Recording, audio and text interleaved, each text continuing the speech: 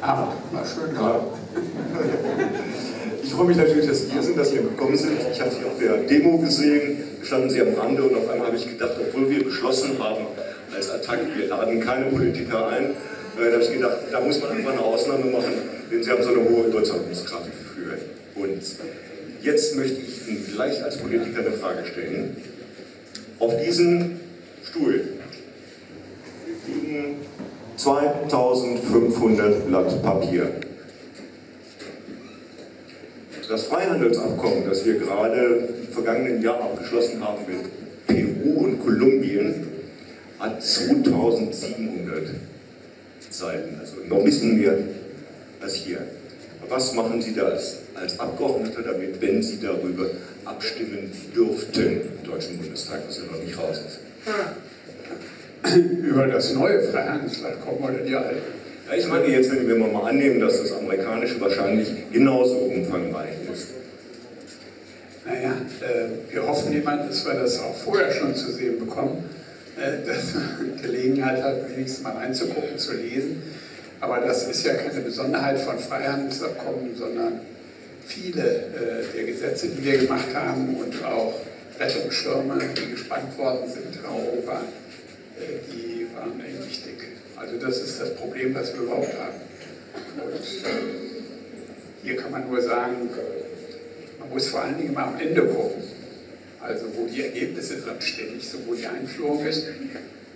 Und äh, wenn ich bei dem Freihandelsabkommen äh, sehe, lese, und so scheint das ja immer noch zu sein, jedenfalls hat Herr Gabriel sich von seiner Forderung verabschiedet, dass da auf gar keinen Fall so eine Schiedsklausel drin sein darf. Äh, inzwischen hat er nicht mehr so sehr dagegen, sondern sagt, das muss man gestalten. Wow. ähm, da kann ich nur sagen, da kann ich nur sagen, und da bin ich ja nicht so sehr als Abgeordneter gefordert, sondern als Jurist. Ähm, wenn die jetzt immer solche Vereinbarungen machen, dann ist das gut für die Anwälte. Mhm. Äh, weil die Anwälte äh, sind in diesen Schiedskommissionen, die dann eingesetzt werden, die, die da agieren und die auch Recht sprechen. Also das kann sich ein Anwalt eigentlich nur wünschen, äh, dass sich äh, das Ergebnis nach dem richtet, was der Anwalt sagt und mhm. nicht, was der Richter sagt. Äh, aber in der Sache ist es natürlich so, dass damit äh, durch diese Schiedsklauseln, diese Schiedsgerichte, die da eingerichtet werden, dass damit der Rechtsstaat oder die Justiz, die in vielen Jahren entwickelt worden ist, erkämpft worden ist, eigentlich außer Kraft gesetzt wird. Also dann gibt es nicht mehr die Instanzen der Gerichte, dann gibt es nicht mehr Richter, äh, und Parteien, die da was vortragen und dann setzt ein Gericht hin und sagt, nach den Gesetzen ist das so und so.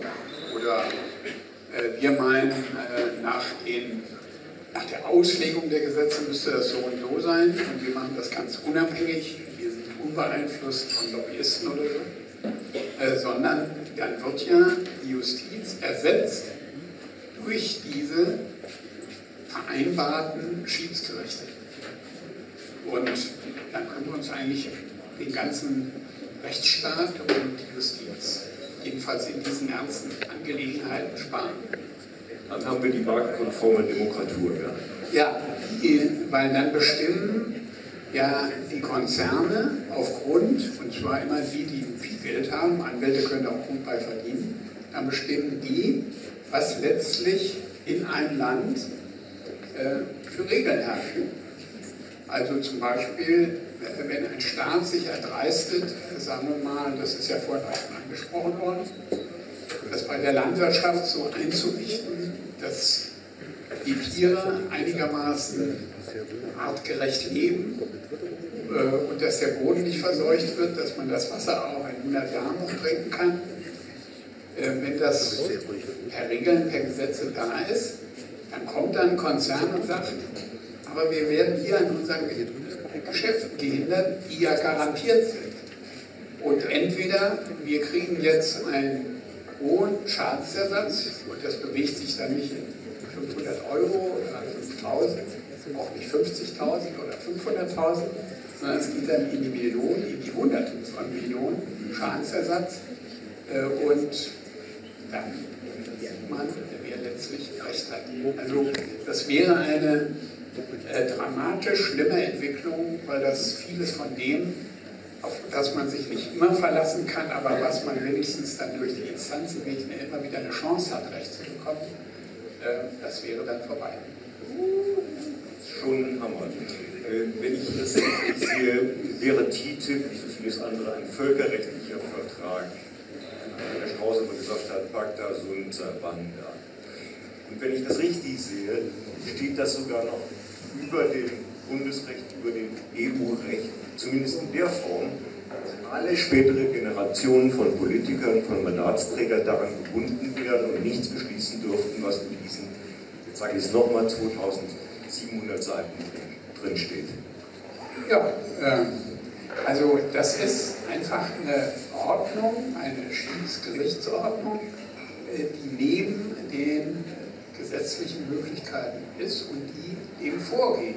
Das ist ja eine Vereinbarung zwischen Staaten, äh, die dann auch eingehalten werden müssen und eingeklagt, das ist ja gar keine Klage, sondern die wir an Schiedsgerichte übergeben und die entscheiden dann entlang dem, was in den 2700 Seiten steht. So sagen Sie als Jurist, gibt es eine Chance, eine solche Abgabe von Volkssouveränität vor dem Bundesverfassungsgericht oder vor dem EU-Gericht anzugreifen? Naja, angreifen kann man immer. Die Frage ist, die Frage erfolgreich. Das äh, ist ja auch eine meiner Beschäftigungen, aber ich bin nicht immer erfolgreich leider. Also ob man sich damit durchsetzt, äh, das ist ja ein, wenn man so will, in diesem Ausmaße, wie das heutzutage betrieben wird, äh, ist das neu. Vor allen Dingen ist es neu, dass es inzwischen auch in die, in die Industriestaaten Einzug hält. Äh, diese schönen äh, Schiedsgerichte und Freihandelsabkommen, die haben vor allen Dingen die USA ja bisher praktiziert bei Ländern, die ihnen völlig unterlegen waren. Aber wir wissen zum Beispiel, dass die, um die Bereitschaft in den Ländern wie zum Beispiel Kolumbien, ist ja vorhin angesprochen worden, oder anderen Ländern Lateinamerikas oder auch Mexikos, äh, um das da einzuführen, äh, mussten die ja erheblichen Druck ausüben. Und die Länder sind ökonomisch so abhängig von den USA, äh, dass sie sich den Widerstand gar nicht leisten können. Das Neue ist jetzt, dass die das auch bei Staaten versuchen einzuführen, jetzt bei der ganzen Europäischen Union, auch bei Deutschland, die eigentlich äh, die Möglichkeit haben sollten, sich dagegen zu wehren äh, und das abzunehmen. Theoretisch. Also, ich habe mich sehr lange mit äh, Kolumbien auseinandergesetzt und weiß, dass die US-Politik Kolumbien ja nicht nur Freihandelsabkommen oder Mexiko Freihandelsabkommen aufgedrückt hat, wo es in Mexiko zum Beispiel so ist, dass die gar kein Mais mehr anbauen können. Der Mais kommt eigentlich ursprünglich aus Mexiko. Der ist von Mexiko nach Europa gekommen und in die USA. Äh, und die Bauern dort, für die ist das ein Grundnahrungsmittel. Das ist äh, in den meisten Ländern Lateinamerikas so, vor allen Dingen in, den, in Mittelamerika. Und jetzt lohnt es sich für einen Bauer, in Mexiko nicht mehr den Mais selber anzubauen, weil er aus den Riesenplanten, also aus Riesenäckern, äh, die mit viel Kunstdünger und mit äh, viel Dünger hochgehalten werden, in den USA billiger produziert wird. Und der kommt dann darüber. Das heißt, nicht nur, dass die ganzen Arten da kaputt gemacht werden, dass genmanipulierte Mais dann nach Mexiko kommt, äh, sondern äh, dass die Bauern paar äh, Cent dann aufbringen müssen, äh, um sich das leisten zu können. Nur die Frage ist, wo sollen sie das verdienen? Das heißt, in den Ländern ist das tatsächlich eine Existenzfrage für Teile der Bevölkerung, die damit äh, aufs Spiel gesetzt worden ist. Und das Neue ist jetzt, es gibt ja schon so ein Abkommen, was noch nicht endgültig ratifiziert ist mit Kanada zum Beispiel, der Europäischen Union. Da ist das angefangen, vorgemacht worden. Und das große Problem ist jetzt, äh, weil die USA natürlich der größte Player in diesem Bereich sind, wird das auch mit den USA gemacht. Immer unter der Verlockung, dass es dann unendlich viele neue Arbeitsplätze gibt und wir alle sehr reich werden. Äh, nur wenn man nach Lateinamerika guckt, dann ist das auch da nicht so ganz aufgegangen. Das Schreckliche ist ja, dass dieses Wort Freihandel für viele Menschen in diesem Land immer noch sympathisch klingt. Wir sind äh, einfach der Meinung, das ist eine neoliberale Mogelpackung, unter der sich eine Ausbeutung versteckt, die raffinierter ist als dem Kolonialismus, aber mindestens genauso effektiv. Jetzt möchte ich aber gerne auf ein anderes Thema noch zu sprechen kommen. Äh, das Verhältnis zwischen Zivilgesellschaft und Parteien.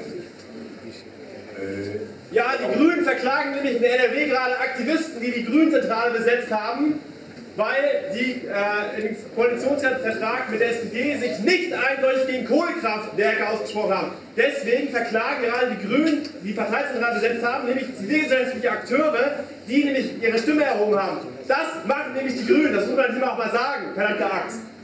Und warum laden wir eigentlich Politiker ein hier bei einer Attackveranstaltung? Das ist der größte Scheiß. Wir haben es gehört, okay.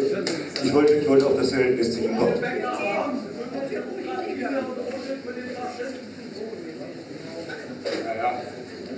Also ist mir wirklich ein Anliegen, eine Frage zu stellen.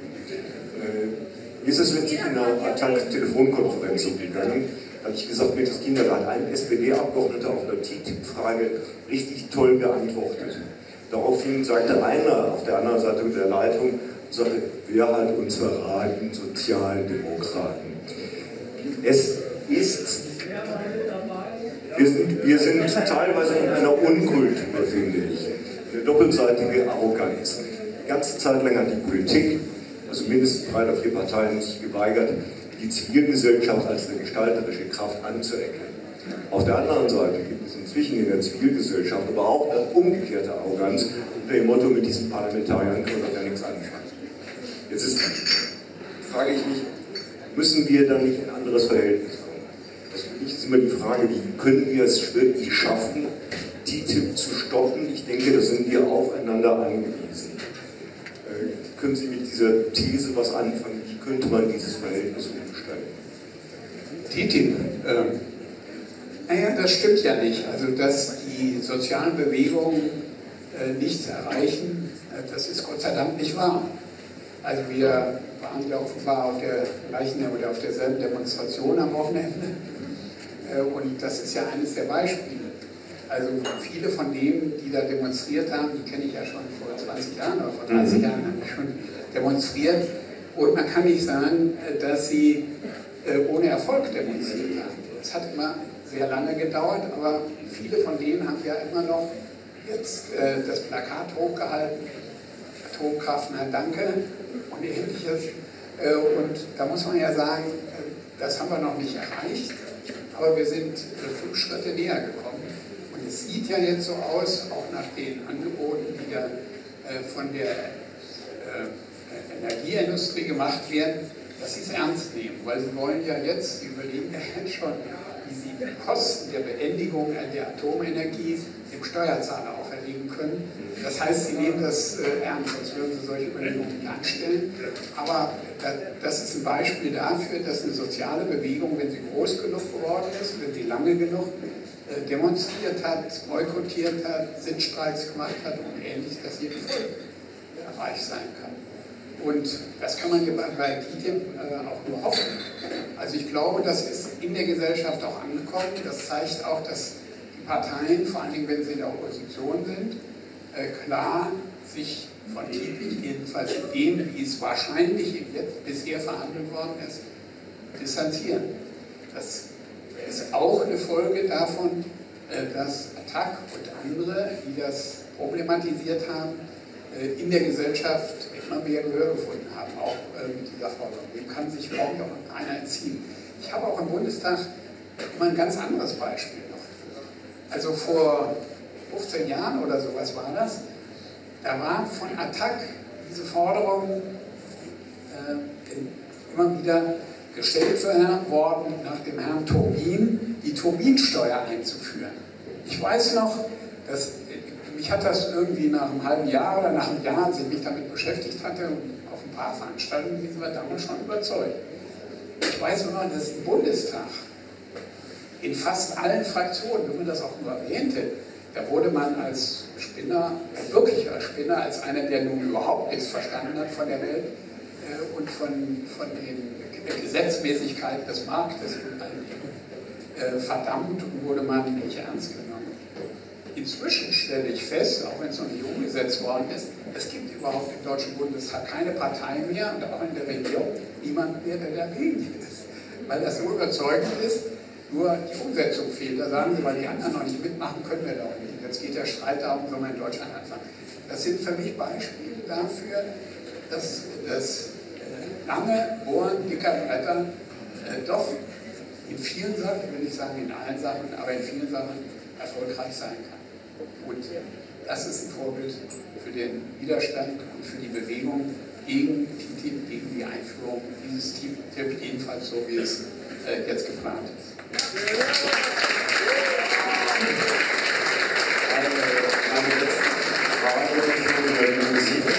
kommt, die Befürworter von TTIP scheuen ja nichts mehr als Transparenz. Sie wollen so viel wie möglich geheim halten. Was halten Sie von der Idee, dass die Zivilgesellschaft zusammen mit den Parteien mal ein wissenschaftliches Hearing zu CTIP macht. Gabriel sagt ja zum Beispiel, die protestieren gegen etwas, was es noch gar nicht gibt. Äh, wir erlauben uns, dagegen zu protestieren, weil wir eben so viele Freihandelsabkommen kennen und sie sind großenteils nach einem ähnlichen Strickmuster geschnürt. Und so gibt es eine Idee, zu sagen, wir machen ein wissenschaftliches Hearing mit Völkerrechtlern, mit Biologen, mit Bauern, mit Eigentumsspezialisten, die zum Beispiel darlegen können, was kann das für unser Saatgut und dessen Patentierung bedeuten. Würde so ein Hearing Sinn machen und glauben Sie, dass es genug Politiker gibt, die da mitmachen würden? Also solche Veranstaltungen sind immer gut, aber ich will da mal was Grundsätzliches zu sagen. Diese Geheimhaltung, das ist wirklich eine Sache von vor ein paar hundert Jahren in einer Demokratie zu sagen, in einer solchen existenziellen Frage wird verhandelt, ohne dass auch nur die Parlamente, geschweige denn die Öffentlichkeit und die Bevölkerung darüber Bescheid wissen, das ist zutiefst undemokratisch und passt überhaupt nicht. Ich habe im Zusammenhang mit den, Meldungen von Edward Snowden, äh, ist uns das ja wieder besonders deutlich geworden, wie wichtig die Information über das ist, was eigentlich passiert, dass man die Fakten feststellt. Und das ist hier natürlich genauso. Ich habe in einem wichtigen Antrag für Edward Snowden eingebaut ein altes Zitat von Immanuel Kant. Man soll ja immer so tun, als wenn man gebildet ist. Der hat mal gesagt, da war ja die Republik und die Demokratie noch weit entfernt. Die haben das sich theoretisch erdacht. Er hat gesagt, in einer Republik oder man kann auch sagen Demokratie wird es keine Kriege mehr geben. Und warum? Nicht, weil die Leute alle so friedlich sind, sondern weil es da keine Geheimnisse mehr gibt. Da wissen ja alle alles. Also das war die Vorstellung von Republik und Demokratie. Wie weit sind wir mit der Demokratie, auf die wir so stolz sein sollen, von dieser Forderung entfernt? Wenn, vor allen Dingen, wenn an diesem Beispiel das deutlich wird, in einem essentiellen, und das bestreitet ja auch keiner, das bestreiten nicht mal die, die das jetzt verhandeln, in einem essentiellen Abkommen für die USA und für ganz Europa, wenn man da nicht mal die Schritte mitbekommt, mitdenken kann, nicht mal eine Information kommt, dann ist das von Anfang an so daneben, wie es nur daneben sein kann. Und dann sollte man das als allererstes mit allen Möglichkeiten, auch mit Whistleblowern an die Öffentlichkeit bringen, was da hinter verschlossenen Türen macht.